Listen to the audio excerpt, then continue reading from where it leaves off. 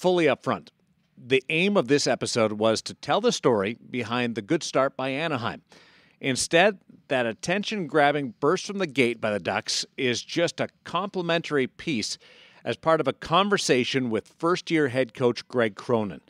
He's one of the most interesting and honest people I've ever spoken with. You don't have to be a Ducks fan or a hockey person to absorb this episode of The Chirp with Daren Millard.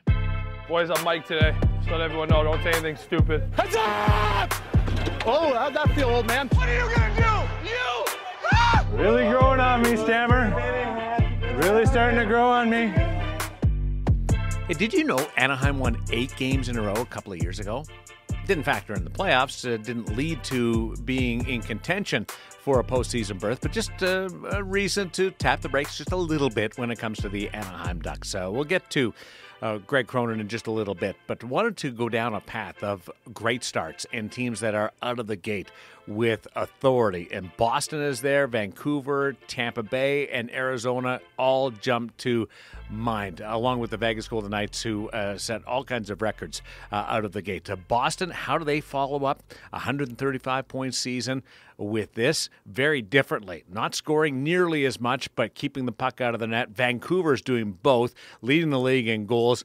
Also, uh, right there when it comes to fewest goals allowed.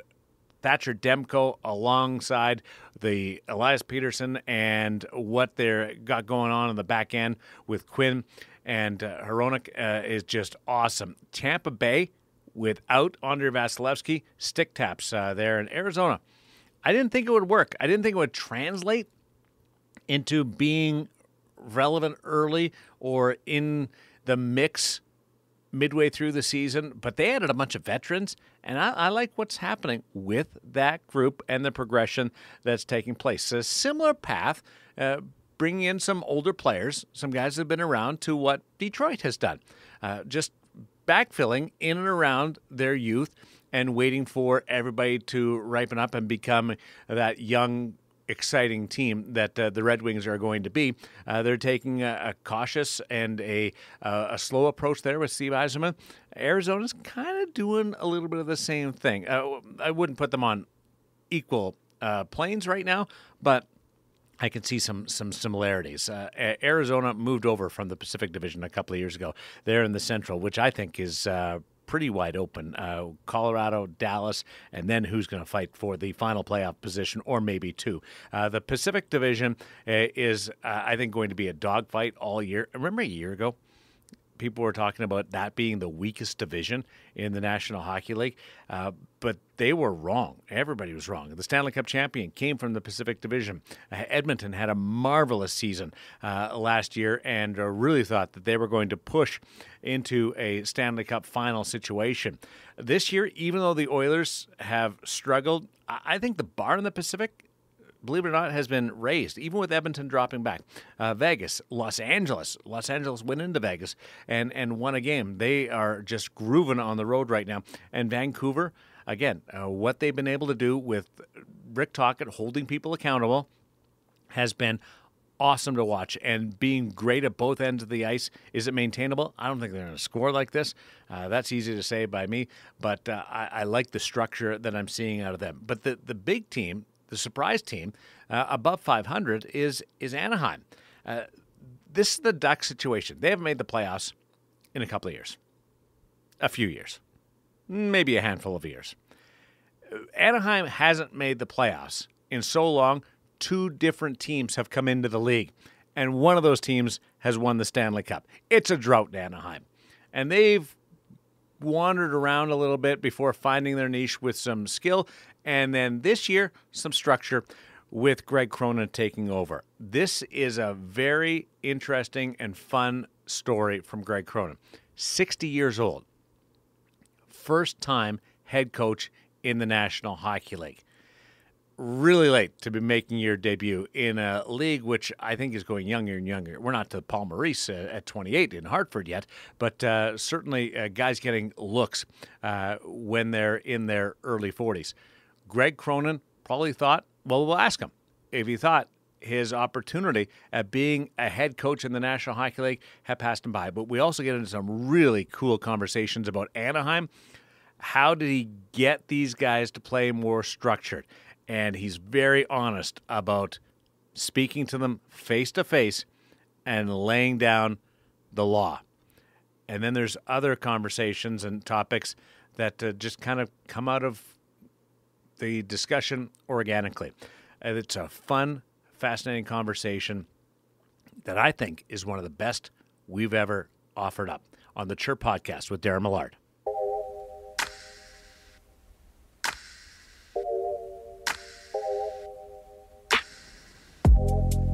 Let's start with what's happening right now and how much of this start is expected or a surprise. Well, I mean, I, I as an individual set high expectations, whatever I do. Um, I mean, it's been well documented. I'm a 60 year old coach. I've coached a long time. And uh, those experiences have, I think, given me some wisdom in terms of how to put together a rebuild, like Pat and I had discussed before I was hired. Um, the tricky question is how quickly can the players grab onto some of these fundamental pieces that need to be visible every night and every day for this culture to actually get legs and start going. Um, in the beginning of training camp, Daren, I'm not going to lie to you, I was worried. Uh, Brent Thompson and I coached together in New York, you know, a, a decade ago, and in different experiences I've had. There was a Toronto Maple Leafs or the Islanders in the late '80s or late '90s, I should say, and Colorado with the uh, Avs and the Eagles, I, and those comparisons, I was like, wow, are these guys way behind these other teams I've worked with at the NHL level uh, in terms of being able to execute these foundational pieces? Um, but surprisingly, after the first night, I thought we had a little bit of maybe stage fright, whatever you want to call it, in Vegas, our first game. After that, um, you know, we we picked it up quick. Like and be I'll back up a little bit. So we actually want the last team to play a game. Remember that in the start of the day. Like we were a week behind Vegas. So that was their third game. That week before we played Vegas was a week that I could really drill into what I what we wanted out of these guys in terms of standards and execution, in terms of the strategies. And um, we had a big camp and we played a bunch of games. So we didn't really have an opportunity to work with our core guys and that week prior to Vegas, you could actually see some traction take place um, and how we were going to coach this team to a level where we felt that that any team was capable of playing. And as I said earlier, like which guys respond at which rate, that is going to be a work in progress. After that game in, in, in Vegas, we came back the next night and played Carolina. And um, we were humming that first like half of that game. We were humming up and down the ice, and I was like, okay, good. Like Shazam, they they've kind of figured it out and let's see if we can sustain it. And that's kind of where we're at right now. So what is different about the system that got them going in the right direction? Well, I mean, I I know Dallas and I, and I co- actually coached Dallas in the in the '90s in New York and coached against him in San Diego. He, he's a great coach, a great person. Um, you know, I think I think watching their team last year and I, and speaking to the the the coaches that were here, I I texted Dallas, but um, Mike Stothers and Newell Brown you know they, they didn't start off really well so they were moving trying to adjust the systems or change the systems to make the players perform better. So i think there was just a there was a little bit of confusion on how they were going to play how they were going to defend. And uh, and i've been on these down like i you know you get in these uh, you might have been in toronto when we had the we had that uh that epic game seven loss in boston that year in the playoffs. And then the next year you know Dave Nonis and his staff kind of changed out a lot of plays and you know, we we were expected to finish high, and it was, you know, Burkie would call it a train wreck. A train wreck started creeping down the hill in the mid February, early March, and it, it's hard to it's hard to get the train back on the rail. And I think last year that happened to this group. So there's obviously systematic issues that are damaged, and psychologically there's damage too. Um, so we just basically, I just try to make it simple. I, I don't really, I'm not reinventing the wheel here. We just try to make it very simple and hold guys accountable to roles within a very simple system that will allow us number one to defend. Like I wasn't worried so much about generating offense. I think that comes from defensive commitment. Um, and you could see guys figuring it out. There was things we did that were a little bit different that made them think differently about how they were going to defend. And as they started to get comfortable with it, I, I could just see the game started to slow down for these guys, and they could defend quicker and they could react quicker to the plays on the ice. Was it a learning the system or buying into the system? Because there's differences there. It's both of them. Yeah. It was, it was uh, quite frankly a simple message. It was both. And I think they, but again, they're starving for discipline. They're starving for accountability. They're starving for structure because when you come out of the chaos that ensues in an NHL season when the train goes off the tracks, you know, the human, any human being, they want to go back to a foundation, a foundation, a base level. Okay, where are we starting from here? And um, we made it perfectly clear that we were going to start from this foundation, and we have to execute this foundation to build this thing up from the ground up. And and I think they understood that. We we've got a nice mixture, whether it's Silfverberg, Henrique, or Fowler. You know, Killorn was a big addition. Gudas, older guys that have gone through this process where they had to reinforce the messages that the coaches gave them. Has it changed your expectations going forward? It has, but I'm also again I'm, I'm an older guy. I I I don't get you know I it's nice for the organization and for the team to get these these this, the credit we've gotten early. Like I'm pissed off we didn't win last night. I want to be eight and four, not seven and five. Uh, and at the same time, I'm looking for a, I'm looking for a long a, through a long lens here.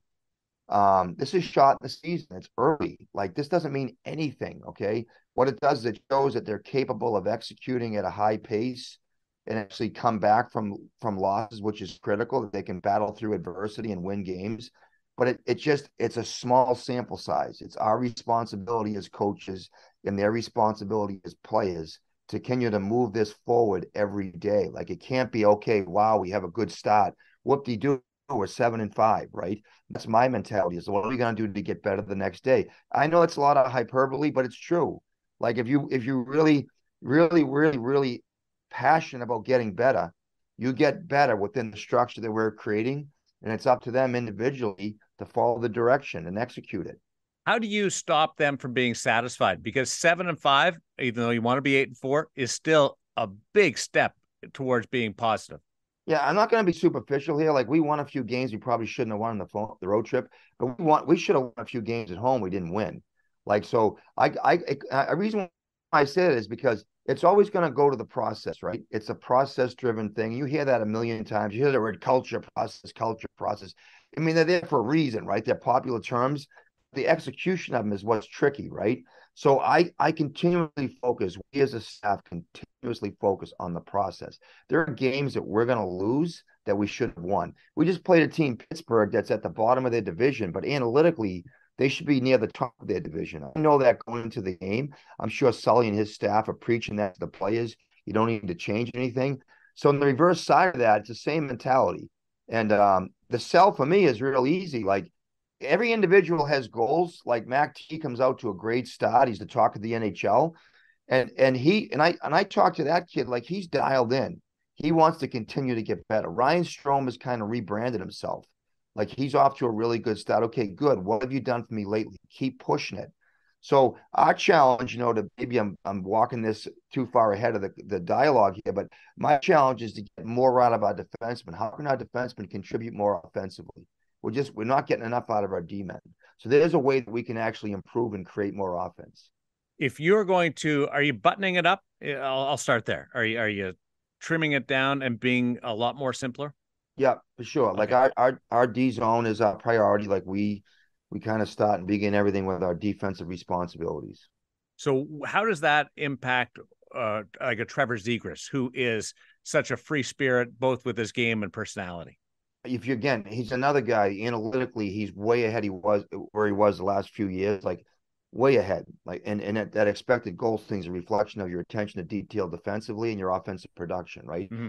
So we've asked him like when I when I when I got the job and I did the research prior to getting it and I spoke to Pat, he was the guy that I was most worried about in terms of creating a a defensive um, accountability to, mm-hmm. and then how is how is that going to impact his offense? Okay, so if you look at his numbers optically, it's like wow, this guy's got two or three points in eleven or twelve games, whatever it is. What's going on there? Well, I think his offense is going to come Defensively, he is completely committed to it. His teammates see it. And again, I use the word teammate. It's a team sport. And he's bought into the fact that the team's having success despite the fact he's not scoring. but he's getting his chances. Like he seriously could have eight goals right now. He's getting chances, but he's not scoring.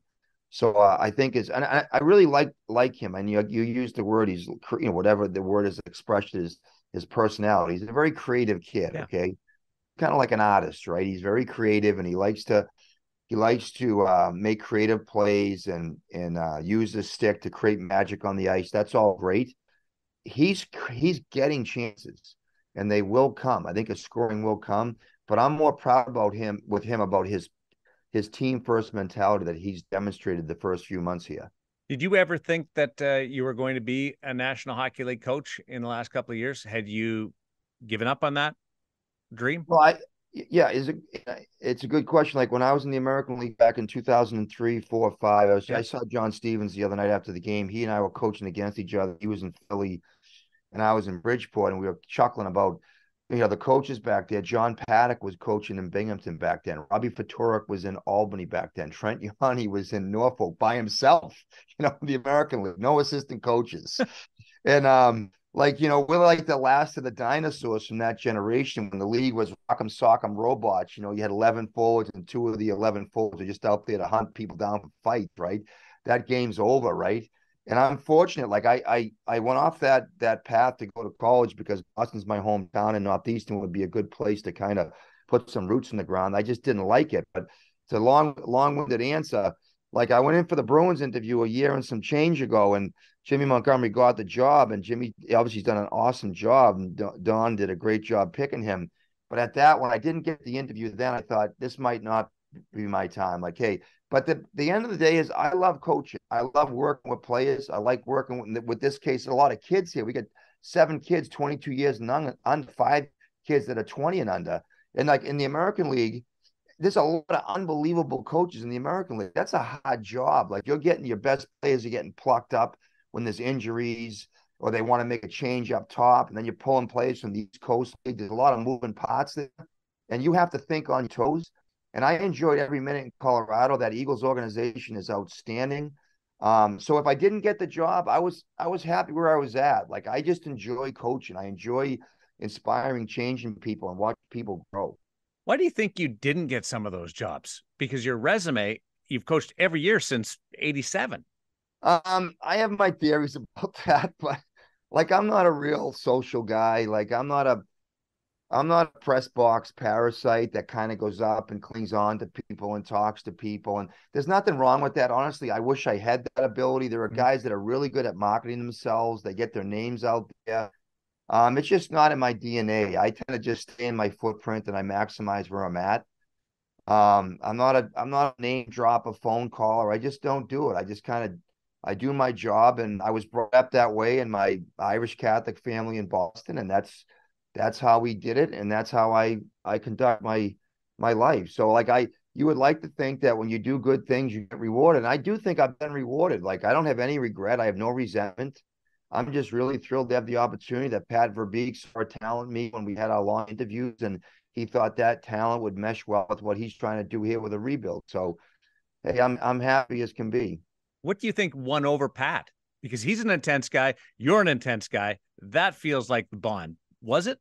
Yeah, it's funny because I joked about this the press conference. You know, Pat's a Sarnia, Western Ontario pig farmer, and I'm an Irish guy from Boston, from the city, right? So you have these two personalities that are polar opposites he played, you know, thousand plus games in the league, and I didn't play a you know a minute in the league. So, but we, we have the same mentality in terms of just trying to exhibit change in people, right? And Pat Pat's a grassroots guy, and um, I I really think that when we talked, it was a nice balance on and you know like when you're trying to do something, I don't care what it is, like it starts with a vision. Like I was fortunate to to start the U.S. national training program there in Michigan with Jeff Jackson and Bob Mancini back in '96. And that was a vision that we had sitting at a table in, in Ann Arbor, Michigan. Me, Jeff, and Bob, and Scott Monaghan still there. And um, that vision actually blossomed from what the heck is this? It was such a radical thing back in '96 to a premier program that's spitting out first round draft picks. Well, each of us had different personalities and and and they weren't as close as Pat and I are in terms of how we see things, but we worked it out and it meshed really well. Pat and I kind of hit it off in terms of where we felt that critical DNA was to create change. And obviously, it's it doesn't you can't you, you're not going to miss that with Pat, right? His DNA is is really like hard hard hockey, work habit, play fast, finish your checks, like win puck battles. That's Pat's DNA. So he's trying to create an image here or, or a system here that reflects that. And I coach that way. And so when we talked, you know, you have these, and I'll give you another comment. You asked about the, you know, why do people get hired? I don't know. But yeah. Pat, Pat did something that's very interesting. Okay. And I've asked people about this. So we had this long interview and and we right to like the joke was we sat down for five hours. It was in between playoff games in Palm Desert. We were playing Coachella Valley. I was with uh, Colorado, and we sat down for five hours on a Monday. I didn't even open up my notebook. Okay, I had my my notes in preparation. He didn't ask me. The only I've been on a few interviews, but usually they're structured on questioning, and there's pivot points on questions that the general manager and the search committee are looking for that are going to reflect what they're looking for in the answer. So you can manufacture what you want, but again, going back to that authenticity, Pat and I just he had questions. I didn't know what they were. He was kind of playing like the Wizard of Oz guy behind the curtain, right? I didn't know what was going to come out of that. So I was just kind of waiting to see what he was, what, where he was going with the conversation and let it evolve organically. So when we were talking, he would ask me questions that had had a lot to do with hockey, but I knew they were loaded. Like he wanted to know, okay, well, how? Like if you forecheck this way and you believe in hunting people and pucks down, how do you do it? And then what do you do it when this happens? So when he was asking those questions, I didn't open my notebook. I didn't need to. Like I've been around a long time. So we got right into the detail. Like nobody ever asked me these questions. The detail of what happens on impact on a check, for example. What's your goal the next two seconds? Like that's deep stuff, right? And you can skin a cat different ways. So this is just I my way of doing things. So then the next interview, he asked me to do video on how, how I was going to execute systems that he felt were core systems to create that vision of how you're going to play fast or hunt pucks down or possess pucks, right? So these are all very universal terms in hockey, but how are you going to do it? So I had this, I had video, like, you know, seriously, like I had like, I don't know, probably like 400 clips of video from, from possible questions he was going to ask me. And that last interview, we met for seven hours. We went in at 1.30 and we left. It was dark out. And um, and I still didn't know if I had the job, but I knew that we were talking and he would ask questions that I felt he saw as a player that I presented as never playing, but I saw players execute at different levels. And I knew at that point that if I was hired, he and I were going to get along really well. So, how do you want to sell yourself to a general manager but you maybe don't have the players to to follow through on that. Like there's a there's a push pull there. How do, how do you handle that as a coach? Yeah, that's a good question. So I didn't I didn't share this with you either, but he asked me to go through his players and he wanted mm-hmm. me to watch the game. So I watched uh five of the games the Ducks played and I picked them up from the beginning where everybody's coming out of the starters gate full speed, right? The beginning of the season, it's like a hundred hundred meter dash and everybody's going hard. Yeah and I got the, you know, I just basically did the first month and the second month and the third month and the fourth month. And as the season went on, everything was deteriorating, right? But I watched the players. So I was able to see players perform when, you know, they were going pretty good early. I saw them play the Bruins early. It was a good, hard fought game. They lost in overtime. And then at the end, I saw guys kind of like mail it in. So for me, watching from a distance, without having a personal relationship with the guys, I saw which DNA was reliable who was going to compete, whether whether they're five and five the first 10 games or they're 20 and 50 after 70, right? I could tell who was going to do it. And then I would ask Pat, okay, what's this guy's DNA? I see this, and that he would tell me, like, you're 100% on here, but I think we can get more out of him if we push this button. And I, when we when we went through that, we went down that rabbit hole and talked about these guys. I said, okay, I think I think we can do it. And I asked him, and I and I, when I got the job, I asked Newell and Mike, you know, can these guys do these things? And they said unequivocally yes. But you're ahead of the game in the sense of those guys in the back of your mind would probably be already on notice. They may not know it, but you know it. Yeah, I told them that when I met with them. I met with oh, them. Oh, you all, did? Yeah. When I got the job, I drove back to Boston. I had to fly back to Colorado and get my stuff. And then when I drove back there, I met with I think it was twelve guys. I I, I usually rip back there in three days, but I took like five days on this trip and I um I sat down with them and I I had it was great time. I had the information. It was raw. It come out of my interviews with Pat. It was given some flesh by Pat, right? Okay, okay. So when I was talking to these guys, I I just you know you have your your your your your whatever your, your introduction, and then I just got right into it. Okay, here's what I know about you, and I and I and I know when I talked to some of these guys, it was like they get hit with a fastball right between the eyes, mm-hmm. and I try to put some rubber on it so it didn't hurt too hard. But I just said, "This is what I hear about you," and then and then then I asked them to explain it to me. And I knew when I talked to these kids, and I'm not going to get into the intimate details of the conversations, I knew who blinked and who didn't blink. So the guys that blinked, I knew maybe needed a little bit more work to get them to buy into what I was trying to challenge them to be as hockey players and how we were going to play. And then I kept going back to them over the summertime, texting them, where are you at with this? Where are you at with this? Because I'm a big believer that we are, we repeatedly do. So I can have a conversation with a guy right there, and it's a great conversation. It's that old expression. You can have great ideas, great visions, and you go into the shower. By the time you drop off, you forget them. All right. Yeah. So so so your job is once you once you plant these seeds in there, you got to fertilize them. And the fertilizing now in this generation is texting them, calling them, where you're at with these things. I gave them direction to do off the ice. What are you doing off the ice to be able to cultivate these things that are going to make you prepare for training camp? So I'd keep going back to them. And I think when I, when I got to camp, I think there was an understanding between me and them what the expectation was in terms of compete, in terms of effort, and then how I was going to translate off the ice into their habits off the ice. Because I had talked to the strength coaches as well. I went down and visited the strength coach that kind of is the he manages this. He's like the general manager, John, John Bowers down in Florida, and um and I is Mike Bowers, and and, and um I have a friend named John, but Mike it, it, Mike was one that was constructing all this. So I went down there and watched him train. I said, you're not training hard enough. You know, like that's not good enough. And Mike Mike mirrors that. So that's how we get a little bit of homework before we started. We've been around each other. I don't know you well, but I was in Toronto. You were in Toronto, so we're in the same universe. Uh, but in doing my background on you, it's just you're intense. Have you mellowed over the years? Yeah, for sure. Yeah, how I much? Um, honestly, like you know, I don't need to go into like details here, but like um, some events happen in life. Like this gets you know, off the rails here as far as hockey goes, but um, yeah. I got fired by in New York. Um, I, I tell the story. Um, you know, it was me, Dougie Weight, and um, Kelly Buchberger, Luke Richardson was there. Scotty Gomez was there, and um, and it was a weird. It was a weird season. Like Cappy was there the year before. It was me, Cappy, Dougie Weight, and Bobby Corkum, and then we had 200 point seasons. And then it went a little bit off. You know, went sideways a little bit, and then Snowy got let go, and then Lou came in, and then the ownership had changed. Charles Wang had transferred ownership yeah. to the current group, and um, and I had um, you know, like I got humbled, like I got fired. I was a very confident coach. You know, I'd been a penalty killing guy, and we had some great you know seasons and records and blah blah blah and and um I got fired at the end of the year and I was really and I, I, don't think Lou Lamoriello meant any ill will by this. He's probably fired a lot of people and but I went in there and I um funny story I was surfing. I'm a big surfer. I was surfing on Long Island and um and I get called in and I had my board shorts and flip flops. So I go into Lou's office. I don't know Lou. Like I mean he's you know he's a Providence guy, a Boston guy. He was at Hockey East at Providence. I was there at Maine and Northeastern, but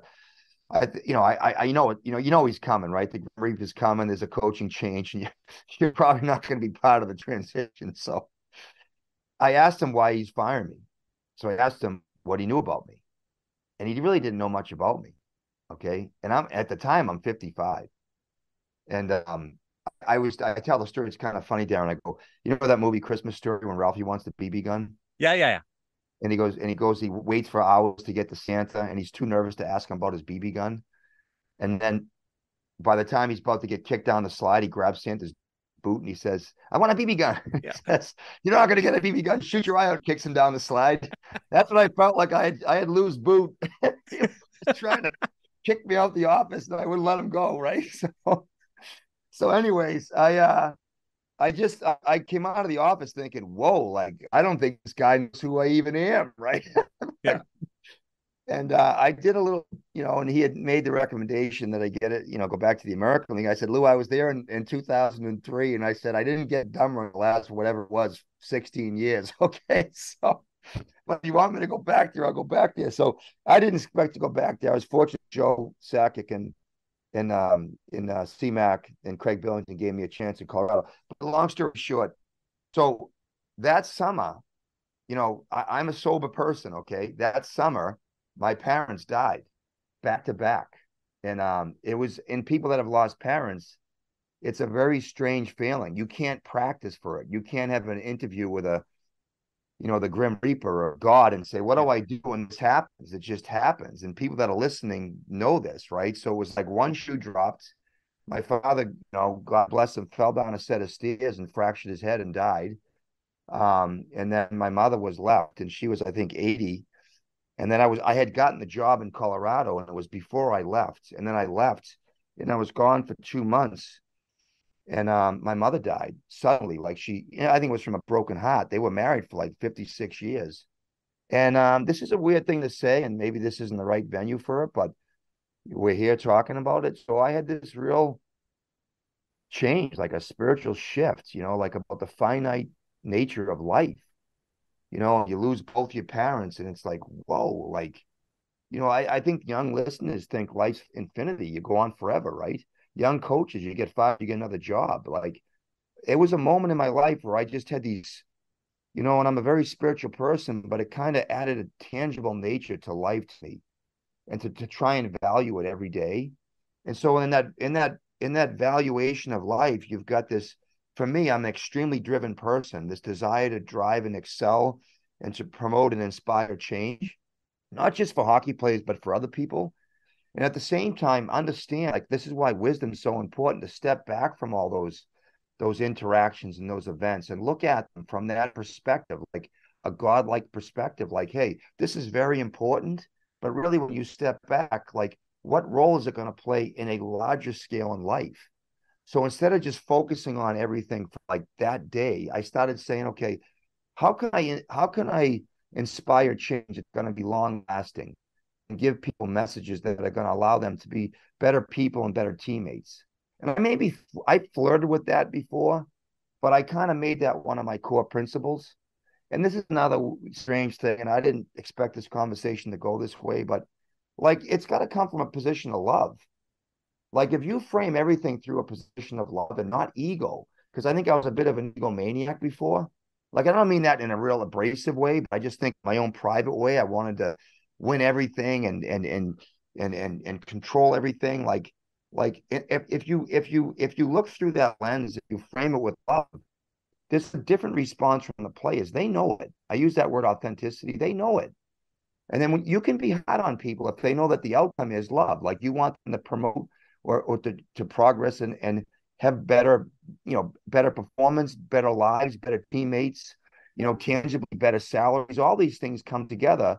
I think if if the root behind it is from love. So I know it sounds corny, but you know, I it, it's and again, ironically, I, I get the job here, and then, you know, 12 days later, my sister dies from alcoholism. You know, and again, it's another reminder. You know, she's 56 years old.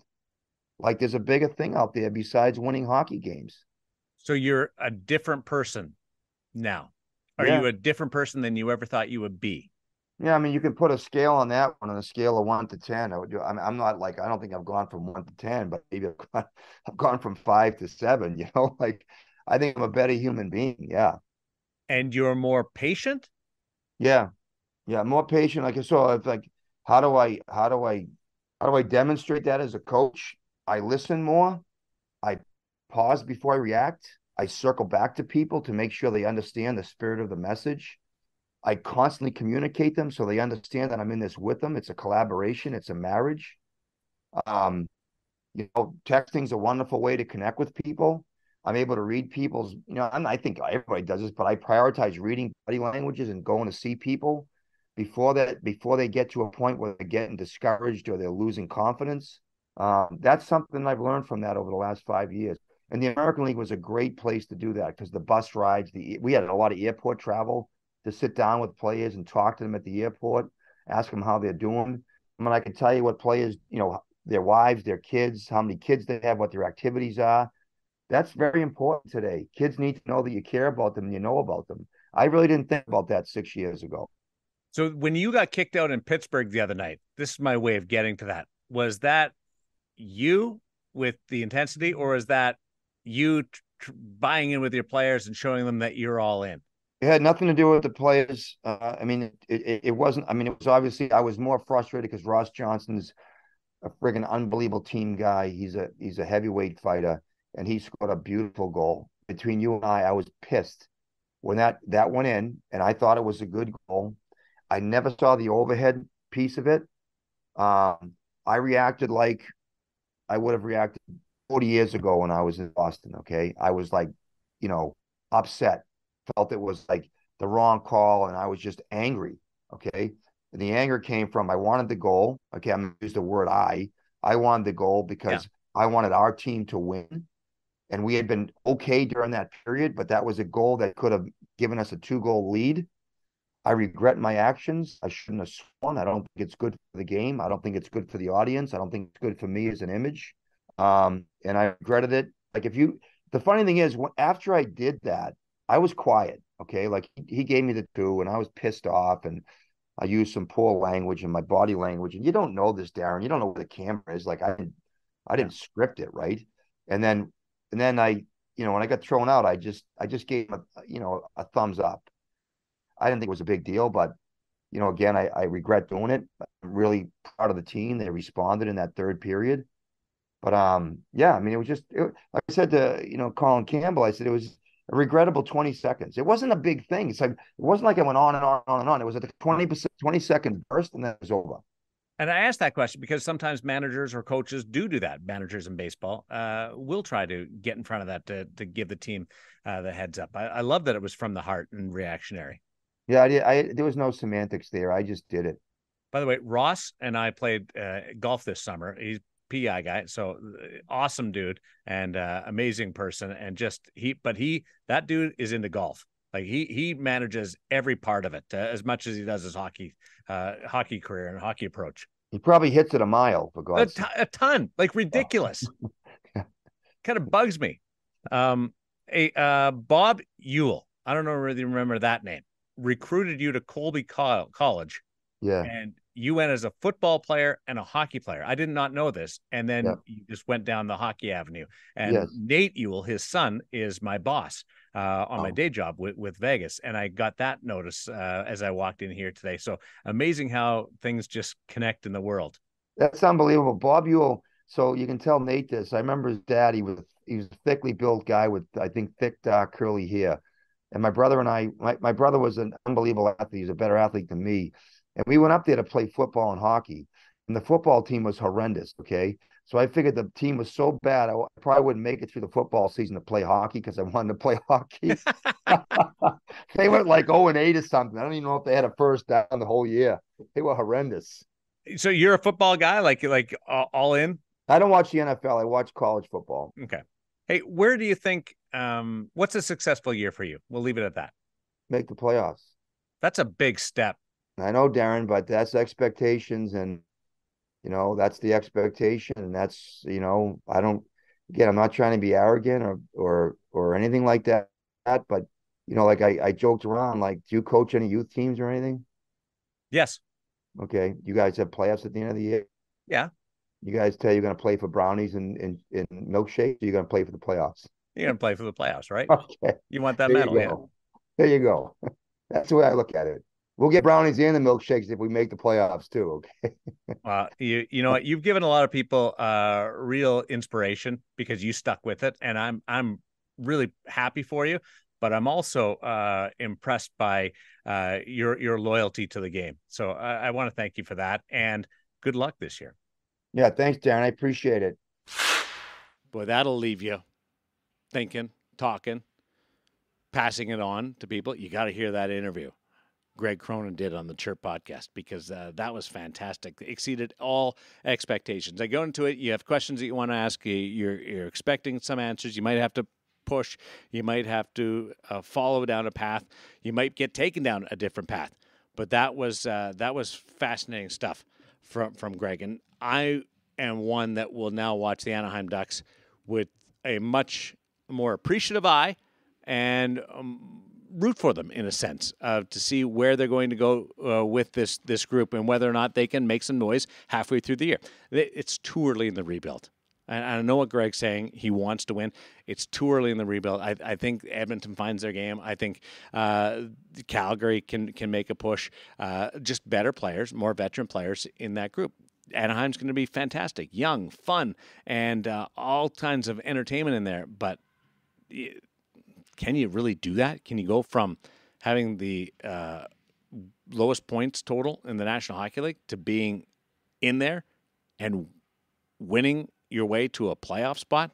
Uh, it's going to be tough. Like Boston, like the challenge for Boston this year was following up the best record in the National Hockey League, the, the highest points total ever in a regular season. I didn't think they would come close. So maybe, maybe Anaheim's got a chance because Boston's responded. Tampa Bay survived uh, without Andrei Vasilevskiy. Good job by Jon Cooper. They're getting points, they're putting stuff in the bank. Uh, I love uh, what uh, Arizona's done. Bringing all the veterans in. That was a calculated uh, approach by Arizona. They're above 500. Then there's Vancouver, just score. Vancouver, uh, Pettersson scoring, uh, Boeser scoring, uh, JT Miller uh, putting the, putting the puck in the net, and the accountability, the structure is there from from Vancouver. The structure is there.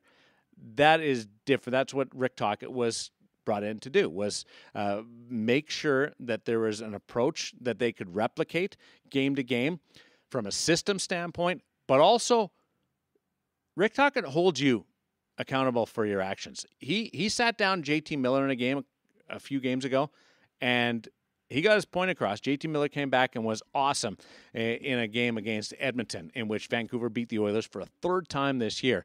And if Demko's great, I love their blue line, Hronek and and Quinn Hughes.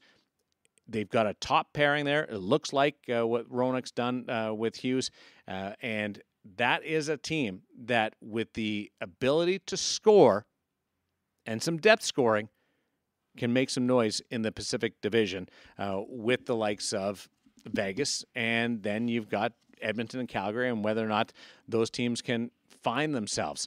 Uh, Los Angeles Kings don't look beyond them and their ability to put the puck in the net. But Edmonton's going to be the, just the fascinating club to watch. They waived Jack Campbell, and uh, Jack's got to go down. And he's got to find his game. And I don't know whether this is the precursor to something bigger for Edmonton, and they're trying to just find a way through the Campbell contract uh, dilemma uh, because he is owed uh, $20 million uh, uh, as of uh, right now this year and, and the four more. But it's it's an interesting one. I don't think that there's enough help inside the organization to partner with Stuart Skinner to give them the goaltending they need to win on a nightly basis. Skinner might be able to do it for a while, but you need something else. So I think they they make a trade. They either sell one of their assets up front or they go out and they they get it done with Jack Campbell coming back up. And I talked to Glenn Healy, my buddy, former New York Ranger. He was the last number 30 before Henrik Lundqvist, uh, I believe, to to wear number 30. And and Glenn's got this uh, big picture and he's got uh, I love him because he's, he's he's got this opinion, but he he said as a goaltender when it starts to go wrong, uh, you're doing the same thing but pucks are going in so you start doubting yourself. You're not winning games, pressure mounts. And he said the best way to explain it is you're looking through a telescope, but you're looking through the wrong end of the telescope. So while things are going great, you can see everything you, and you can get dialed in. You can zero right in uh, through that telescope. Then you flip it around when things aren't going good, and everything is so small, and you can't. Uh, see the guy in the back door. You can't see the release point that you normally would. A puck uh, through a screen, that kind of thing. You don't react to it, and it just it goes from bad to worse. And it's a, it becomes a mental game as much as it is a, a physical game. And he said that's that's real challenging to get through as a goaltender. And it's the second straight year that we've watched this. Cal Petersen, Los Angeles, he couldn't get through it. Ended up in the American Hockey League and now is part of a different organization in Philadelphia. I think Jack Campbell, if the Oilers are going to succeed, Jack Campbell has to find it and give the Oilers some solid goaltending. And I hope, because you want to see people succeed, I hope he does. Uh, because the, the Edmonton Oilers it might be the best thing for them, uh, a little adversity, but boy, you, got a steep climb ahead of you uh, going forward uh, with that part of the Oilers and their pursuit of a Stanley Cup playoff position. It was challenging for a Stanley Cup and being in the race to to try and uh, follow up the Vegas Golden Knights championship a year ago. They lost to Vegas. They said we learned from that. Well, now now it's not about getting the Stanley Cup final. Now it's about getting the Stanley Cup playoffs. I want to tell you about uh, another podcast on our platform. Check out NHL Backstory. It's a podcast hosted by Art Ocal, and it relives some of the most unique moments in NHL history. Episode one is available now and explains how Disney's Mighty Ducks movie franchise, which we all know, inspired an NHL franchise. Remember, the movie happened first, and then the Ducks franchise or the Mighty Ducks franchise came about. It's available at NHL.com or wherever you get your podcasts. It's a fun lesson, uh, a little Hollywood, and a whole lot of hockey. Uh, thanks to Bob Bender. Thanks to the Anaheim Ducks uh, making Greg Cronin available to us and uh, allowing us to have that extended conversation. Of course, Bob Bender and you, the listener. If you like what you heard, share it. And I love hearing from you. Got a lot of great reactions uh, the last couple of weeks, so keep them coming. It's the Chirp Podcast with Daren Millard.